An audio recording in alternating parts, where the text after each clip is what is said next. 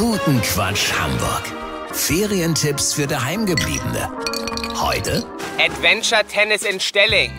Unweit der Autobahnabfahrt Stelling in einem schnuckeligen Gewerbegebiet gibt das den Tennisspaß für Jung und Alt. Der Besitzer hatte die Idee, aus einer völlig heruntergekommenen Anlage ein prickelndes Abenteuererlebnis zu machen. Die Anlage bietet sowohl drin als auch draußen den ultimativen Kick. Die Plätze draußen sind mit Dornhecken völlig überwuchert und somit kann jede Bewegung zu einem stacheligen Unfall werden.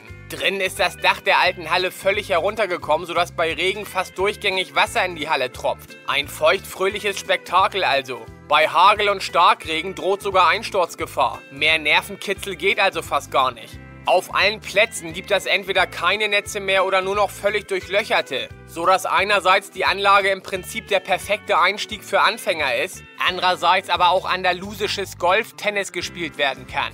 Dabei wird der Filzball durch die Löcher im Netz geschlagen. Mein persönliches Highlight sind die Duschräume. Für 1 Euro kann man das Experiment wagen, sich nach der körperlichen Höchstleistung abzuduschen. Hier ist der Kick, man weiß nicht ob und welche Flüssigkeit aus der Leitung sprudelt. Mit Glück kommt in Schüben kaltes Wasser aus dem Duschkopf, mit ganz viel Glück ist es sogar rostfrei.